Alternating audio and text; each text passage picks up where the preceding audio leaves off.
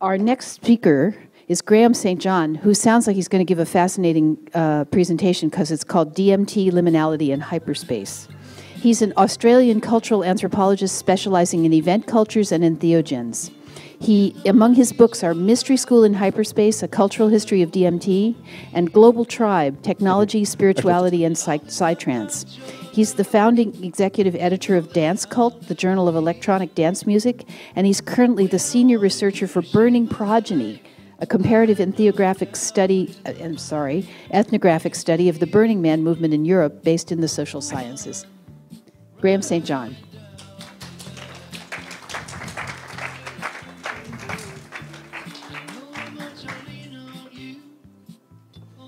Uh, thank you, Maria, and uh, thank you to MAPS. I mean, it's just uh, wonderful to be here. Uh, it's quite an honor, and uh, what a lovely uh, venue this is.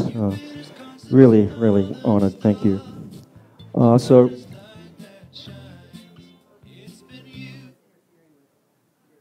There's music coming over the speaker, apparently. Not anymore. Okay, hopefully that's been cleared up. So, uh, yes, so this uh, presentation is called DMT, Liminality in Hyperspace. And uh, it's basically a, a, presentation that explores uh, my interest in the uh, uh, Gnostic potential or Gnosis potential and ritual-like characteristics of the, of the DMT event or the so-called breakthrough experience associated with the DMT event. and I hope I'll offer some insights on, on how the DMT event is uh, quintessentially liminal, that is, an in between realm of potential. And as part of a study on the cartography of hyperspace, or the extreme liminal ontology of tryptamines and tryptamine hyperspace, I'll explore some of the ritual like modes of transmission in this uh, potentially transformational terrain. So, my presentation has no pretense at being a, a scientific study. There'll be no data set analyses here, but merely offers impressions based on uh, user experiences as reported in a variety of literary and online uh, sources, and as well as some interviews I've conducted for uh, uh a book project that I'll talk about. Uh, these reports offer examples of how uh, DMT uses transpose, that is, write, paint, sculpt, perform, the typically vexing experiences associated with a DMT event. I will give some attention to how these reports indicate a reconnection with nature, by which I mean uh, reconnection with one's uh, native or natural self, as well as uh, the natural environment, uh, or more generally, the cosmos or universe from which humanity is understood to, be, uh, to have been alienated.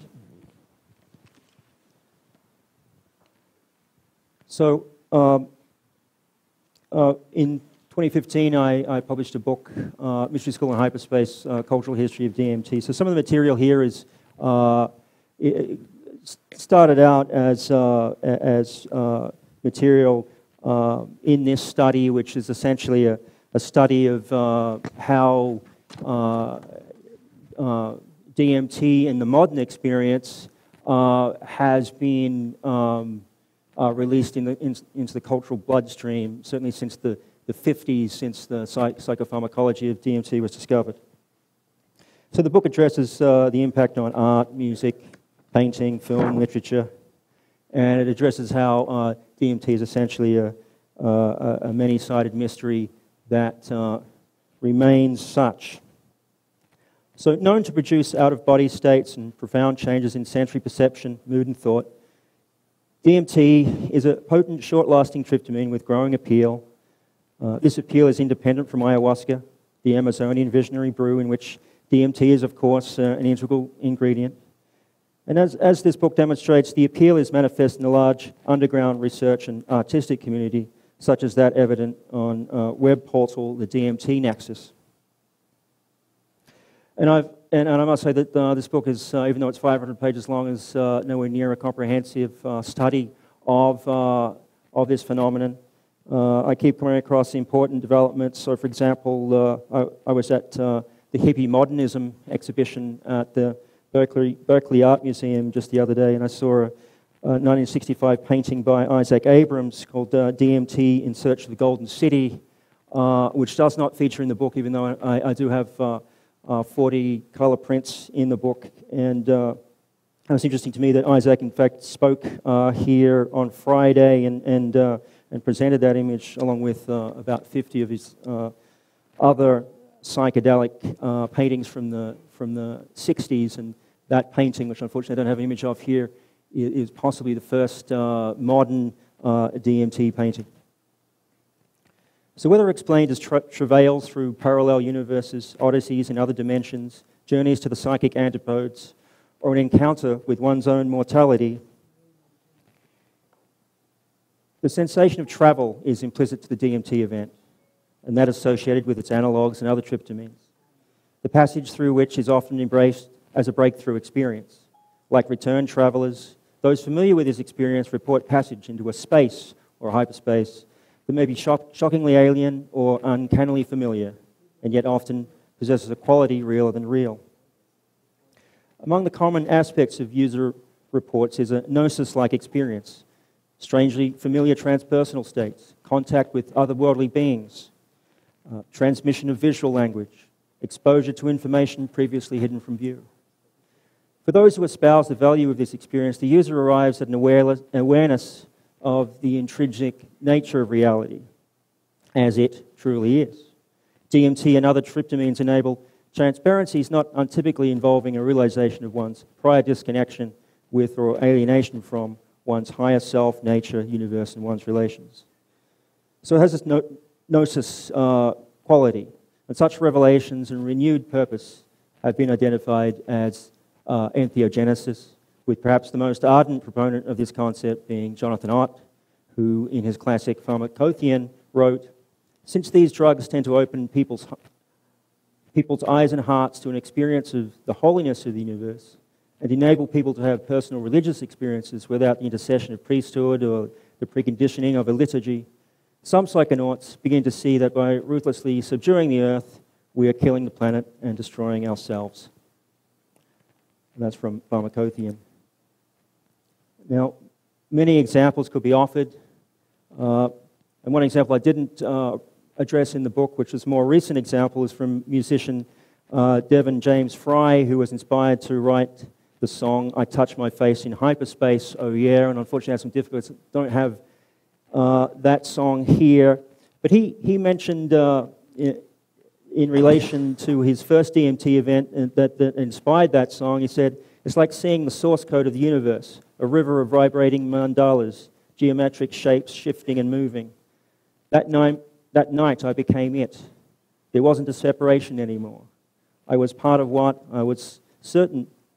I was part of that. I was certain that consciousness is a non local event. It's more like we're antennas beaming something in for the duration of our time in these bodies. As a passage event, the breakthrough experience is commonly received as a form of initiation. Trip reports often possess the rhetoric of initiation, of risks taken, ordeals endured, not least of all the perception of one's own imminent demise, an experience that prompted uh, the term uh, necrotogen, which I address in the book as well. It's a conversation between uh, Terence McKenna and Rupert Sheldrake, where this concept of uh, necrotogen, uh, a, a, substance that enables uh, one's exposure to one's own mortality uh, came about. They evoke heroic journeys with enthusiasts typically narrating passage through episodes involving shock and awe, dread and bliss, fear and love. Many advocates convey their exposure to an event or series of events, challenging the precepts that consciousness is localized in the brain. It is evident from the, the archetypically liminal symbols that permeate the experience and apparent in representative artworks that DMT is infused with transit, uses of travelers, and thresholds are native to the experience and its art. Among the most common symbols of passage uh, is uh, the so called uh, chrysanthemum effect. For Terence McKenna, the chrysanthemum appeared in the form of Chinese brocade, which when enough DMT is ingested, would dissipate or dissolve. And I just want to uh, uh, play some Terence here describing the journey with the aid of visual media producers Martin Stebbing and uh, Toka Kim Klink on uh, their video DMT matrix. And uh, we can play that. Uh, it's coming up the next slide. What gives it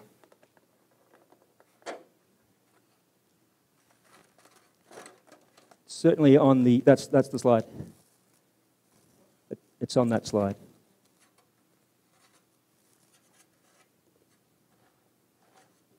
Which is the pre so it's definitely on the previous slide to this.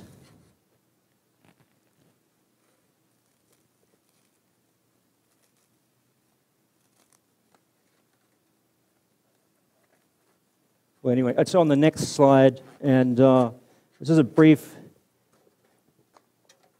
a brief uh, passage where here we go. It its indescribability is its utter weirdness, its alienness, its power to astonish. Uh, what happens to me when I smoke DMT is um, there's a there's a kind of a going toward it there's a sequela of events which lead to the antechamber of the mystery.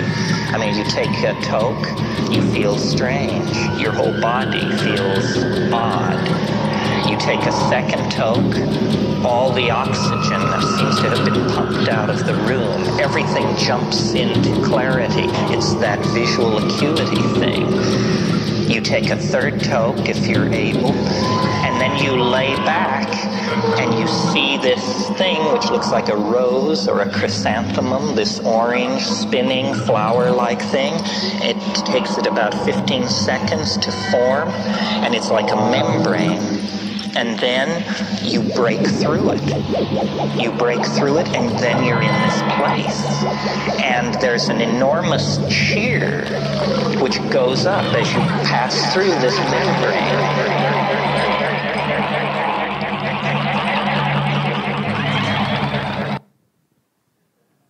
So uh, the cheer to which Terence uh, gave voice belonged, of course, the now infamous machine elves of hyperspace, entities that were first encountered not so far from here in Telegraph Avenue uh, in the fall of 65, uh, an encounter that I covered some, some depth in the book.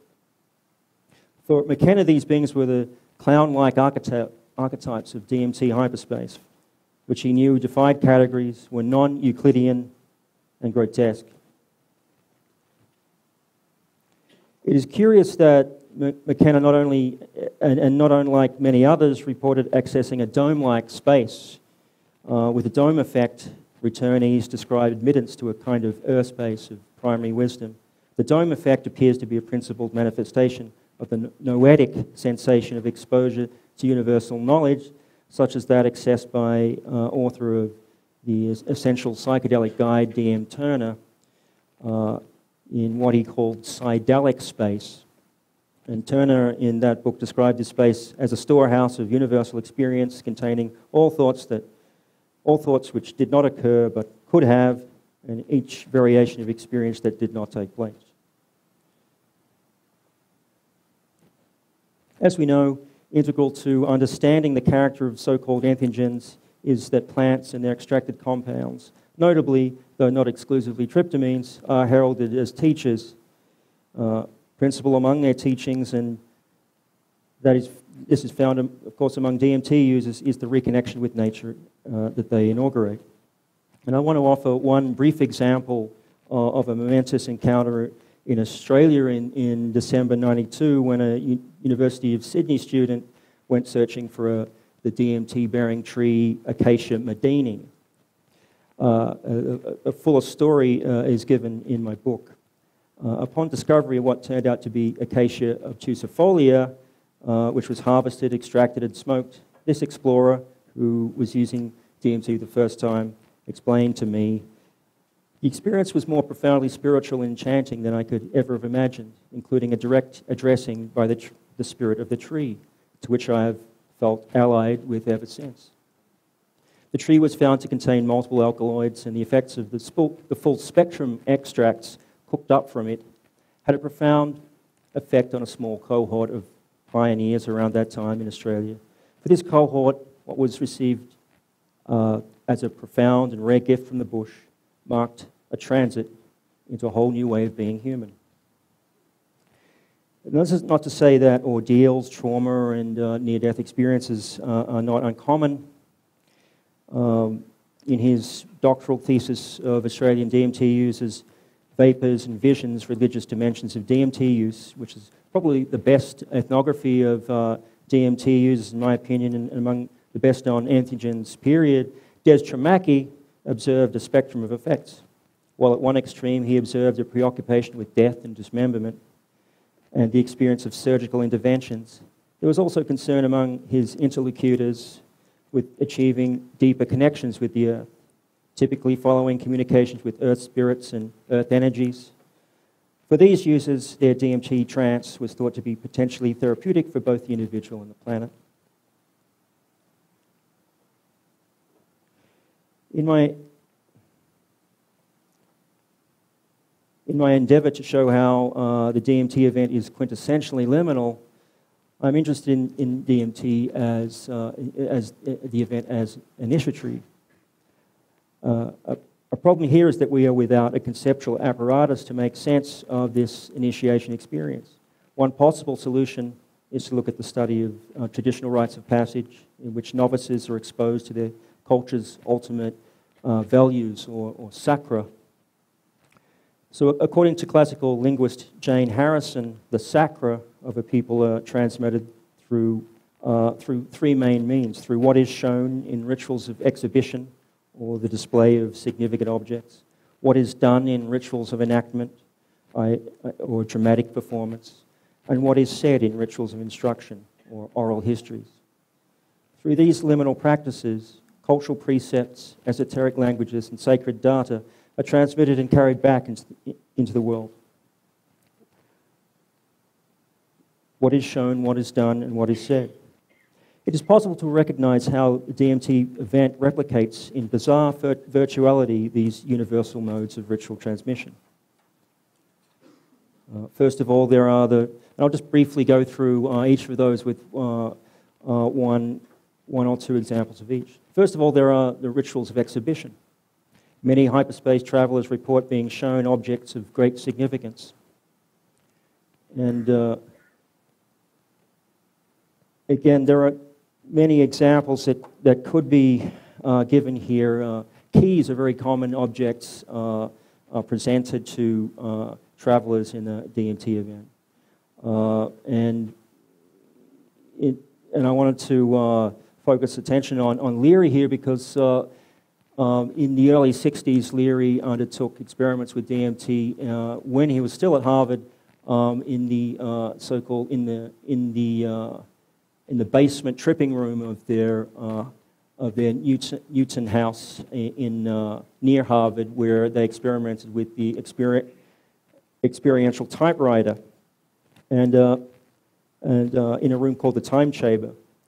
Having taken uh, intramuscular 60 milligram dose with several others and with Ralph Metzner as his tripping guide, Leary later wrote in an article published in the Psychedelic Review in 66, he wrote, Suddenly I opened my eyes and sat up. The room was celestial, glowing with radiant illumination. Light, light, light. The people present were transfigured, godlike creatures. We were all united as one organism. Our group was sharing a parad Isiel experience. Each one in turn was said to be given the key to eternity. And there's reference to uh, the, the, the, uh, uh, the, the, the, presence of a, of a key like object. Moving forward 30 years, uh, one returnee reported, reporting in the Erowid Vaults, uh, Binky 2000, refers to a visitation in a Hollywood Hills bungalow in 91. Within a short space of time from smoking DMT, Binky 2000 was greeted by beings that appeared to be unfolding themselves from all pervasive geometric light patterns. Vying for attention, these beings, as uh, this uh, returnee wrote, seemed to clamber over each other towards me, each wanting desperately to share his or her magical abilities with me. They pulled things into existence, like beautifully jeweled liquid light revolving eggs that transformed into and out of themselves like rolling smoke infused with layer after layer of brightly colored electrical information. So to, to move to uh, instances of uh, enactments, the following comment is from uh, underground chemist Nick Sand, who, who thought uh, DMT uh, was an antidote to a nuclear apocalypse and at one time had produced more DMT than anyone else. Having taken DMT intramuscularly while seated, in a Persian carpet, seated on a Persian carpet amid candles and incense and listening to a recording of Sharan Rani playing a love raga on a sarod, Sand recounted an intimate interlude as uh, was published in the Entheogen Review in, in the late 90s. Uh, or maybe around 2000, I believe that was. I was filled with overwhelming feelings of womanly love and sensuality. I looked down and was very surprised to see myself dressed in filmy harem pants and, and with no shirt on. I had a beautiful copper colored female body, breast and all. I had my bangles on my arms and ankle bells on my legs.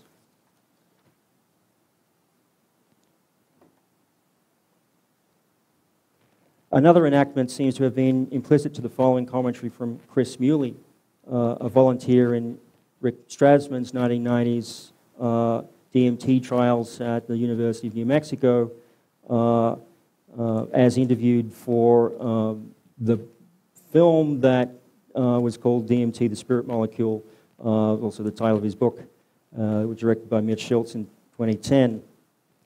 And uh, I believe if we play that audio.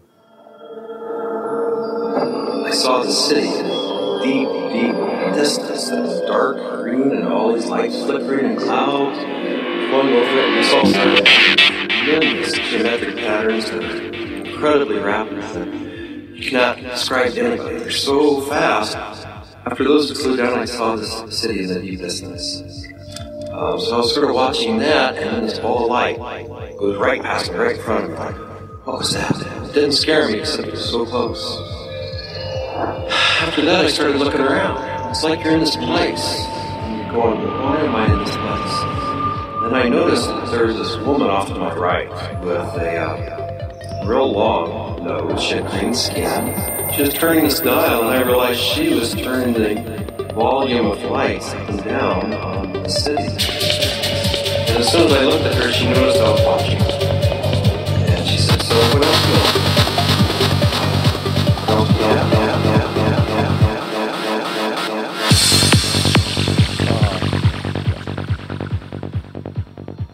that's, um, that was actually also a sample on, uh, on a track called Dementrium by Bom Shankar and Alexov.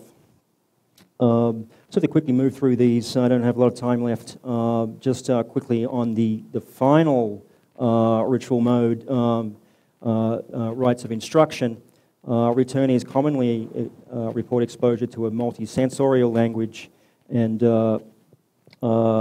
journalist Richard Gehr Uh, offers one example here. He says, During my second hit of DMT, ontological warp speed arrived in a startlingly immediate flash as the universe quite literally deconstructed itself in front of my eyes into a complex green and red geometrical grid that artist Alex Grey has rendered as the universal mind lattice. An impossibly elaborate onrush of candy colored, chaotically presented patterns of pure visual information that ensued. So, how might we, just uh, heading towards the conclusion here, how might we travelers absorb this torrent of information? While ritual modes outlined may enable the transmission of information through what is shown, done, and said, these modes are typically reliant on the five senses. With DMT and other tryptamines, we become witness to a context of transmission as variable as the individual user, for whom information is received by way of extrasensory impressions, a higher dimensional hyperspatial event unavailable to the five senses. Uh, and we can look to synesthesia also as, a, as a, a common to perceptions uh, that inherited language already challenged to adequately transcribe sensory perception, uh, perceptions fail to convey. That there is a common perception that one is without the language to identify the ontologically significant experience suggests that Harrison's modes of transmission are limited in their application to experiences that test the boundaries of sensory perception. Uh, to get around this, users invent new terminology uh, in the evolving uh, hyperspace lexicon. Uh, on the DMT nexus, for instance, uh, the common perception that one can see light without, with all of one's senses is conjured by the term kinesio, kinesio-optic, which is stated to be a condition where the body can dissolve in the experience and be left with just the sensing of light. That's uh, kinesio-optic. Another term, kalon kinesio-optic, on the hyperspace lexicon uh, uses the Greek prefix kalon, referring to the Platonic idea of transcendental beauty, referring to immersion in astonishing beauty. So, lastly, uh, while the precise nature of what is shown, done, and said in DMT hyperspace is notoriously ambiguous, as seen with travelers reporting their allegiances to plant sources, the earth, nature, and the universe, the transmissions are significant all the same. In this virtual realm of the strangely familiar, visitors are offered a direct uplink, not so much to the actual meaning of things uh, seen, done, and heard, but to the inherent feeling of the sacred itself, to which the virtually experienced are exposed, which is felt more than known, and is known because it is felt. And uh, thank you for uh, listening. Because we're going to a break, we can take about two questions. Okay, yes, Okay. I think I've probably almost gone over my time. So. Are there any questions? Can you please come forward?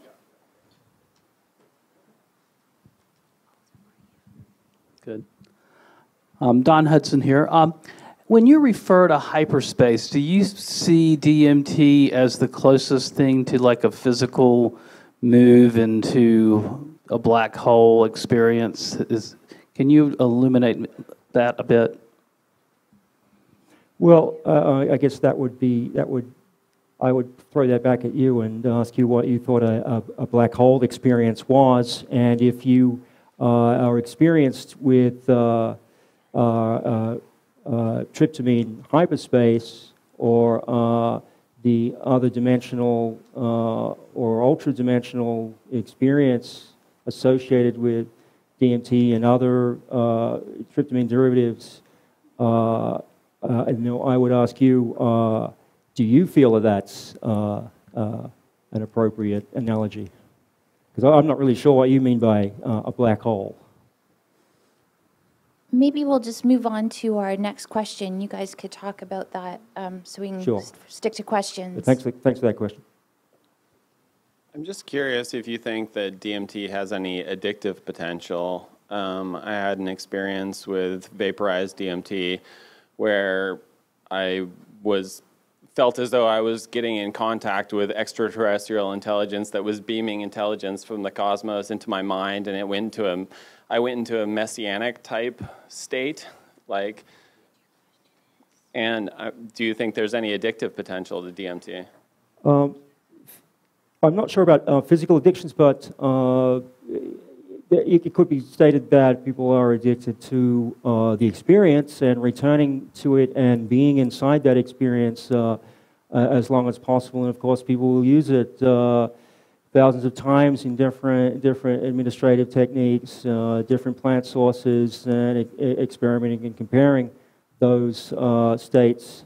So perhaps it's more of a uh, a, a, a, an addiction, which is probably the wrong word, but uh, a fascination with the experience.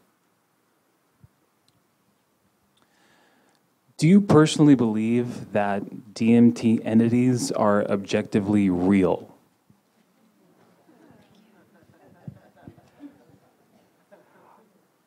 I believe they are real for the uh, experience and uh, for the experience that that there is a le- there are levels of objectivity for sure. Uh, and if those beings, entities, light sources, uh, or what Desmond Tramacchi calls uh, ultra dimensionals, are providing uh, useful information that uh, enables you to conduct your life and be a, uh, to, to, to, to live on in, in this existence as a, as a better person in your relations, then um, I, I don't think that there's, I don't think that, uh, that that is necessarily the right question to ask because uh, if, the, if the impact uh, benefits one's life and in one's relations, in, in the way one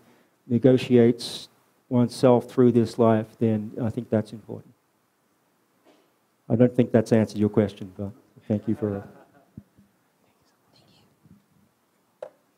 Hi, my name is Dan. Thanks for giving that presentation. Um, I'm curious, I've read Rick Strassman's DMT spirit molecule book, and in that he kind of proposes this conjecture that endogenous DMT is correlated to day to day reality and plays an important role in that. Have you found any other opinions on that, or do you have any of your own? Uh, well, the, yeah, uh, the, the, there's, a, there's, a, chapter in my book which uh, addresses uh, uh, Rick's work and uh, specifically the, the quest for DMT produced in endogenously in hallucinogenic or psychedelic proportions in the brain in the pineal gland, and that that uh, search is fascinating to me, uh, more through the way that, uh, regardless of the fact that uh, uh, they haven't quite nailed that research, uh, that, that that meme has left the clinic for to have a life of its own, which we now see in popular culture, in, in films, horror films. Um, it's become a, narrative that is uh, is really quite fascinating in the way that uh, that has uh, achieved this sort of uh, sort of permeated uh, popular culture. So for me, I'm more interested in uh, the career of of that meme more so than the provenance of DMT in in the brain. And to me, that's that's that's the cultural history aspect. Graham, can you take one more question? Sure. Okay. Okay. Uh, so you use words like ontology um, and some other words that remind me of concepts that are talked about in the tradition of philosophy. And I wonder why this event or phenomenon hasn't really showed up at all on the you know, the humanities side of the academic world, and whether you see any inklings of that happening, or whether philosophers philosophers will start having their say on the ontology of these spaces. Well, it's a very good question, and uh, you know, clearly because DMT is a Schedule Schedule One substance, uh, there's uh, you know institutional hesitation on the part of uh, academia to uh, address this at that level, but we are seeing uh, some developments, uh, usually in the margins, you know, of uh, academia. And uh, but you know, we, we're we're certainly in a period of renaissance where um, I think more and more philosophers, whether they're professors now or, or usually uh, undergraduates, graduate students, are pushing uh, the, these boundaries and asking these really important questions. And, and uh, and so, we'll, you know, most of the research that I've been looking at is underground research, and uh, research that, such as that has been uh, published on the DMT nexus, when people are talking about using concepts like onto, on, you know, ontoseismic, the ontoseismic event of, of DMT. And I think it's probably a great PhD project in that. Thank you.